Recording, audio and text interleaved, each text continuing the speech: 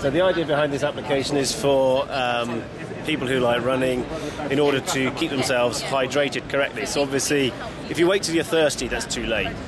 Not enough hydration. If you drink too much, that also takes you off peak. So to, for peak performance, you really need to get the right level of hydration.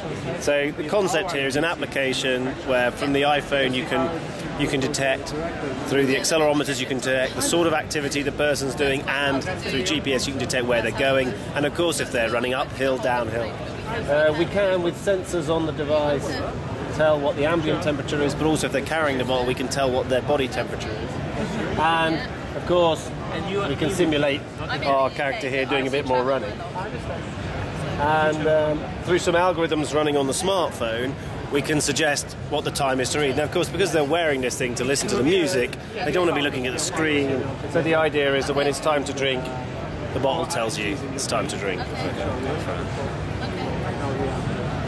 Have a drink.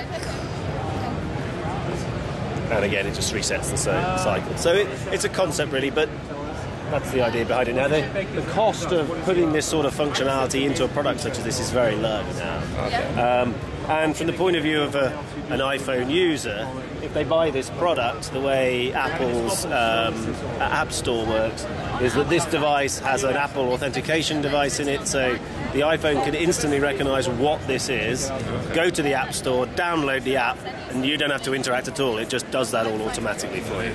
So you, that can all be included when you buy a water bottle. Now, again, it's an example, and not necessarily saying water bottle's the only example, but any product of that type, that level of, of complete solution is available through the sort of Apple ecosystem. And of course, it'd be possible to monitor exactly how much someone's drinking so that you can keep the, the whole process updated. So it's uh, just a concept, really, but it shows what's possible. Pretty cool concept.